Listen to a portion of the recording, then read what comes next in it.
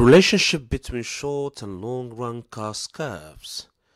If in the long run the relative price of the factors is assumed constant alongside three different cost levels, the equilibrium will take place at those points where the budget constraints are tangent to the isoquants, obtaining thus the path of expansion of the long run production.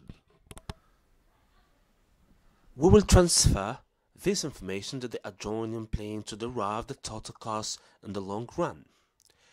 If we at this point consider the constant fixed capital factor, we would now be conducting a short run analysis. To get Q1, we need a budget constraint located more to the right, higher cost level. To obtain Q2, we would need the same cost level as in the long run, whereas to achieve the Q3 production level, we need a higher total cost than in the long run. In this way, we can see how the total cost only coincides at one level of production in the short and long run.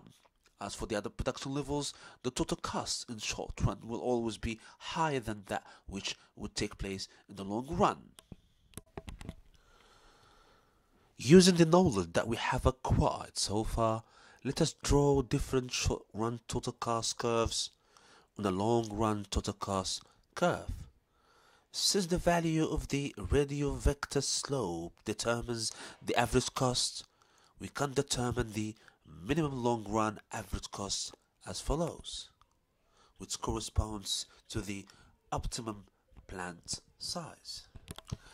At those points where the short and long run total cost curves come into contact, they will indicate the same average cost. Consequently, given the conventional U-shaped form of the short run average total cost curves, all those located to the left of the long run average cost curve will make contact with the decreasing side of the trajectory, and those located to the right in the increasing section.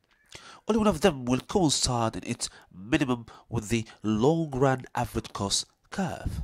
If, on the other hand, we consider the short and long run marginal cost curves that, as we saw in a previous demonstration, must intersect the average functions at their minimums, we shall obtain the relationship between short and long run costs and we can verify how the long run average cost curve can be defined as the envelope of the different short run average total cost curves.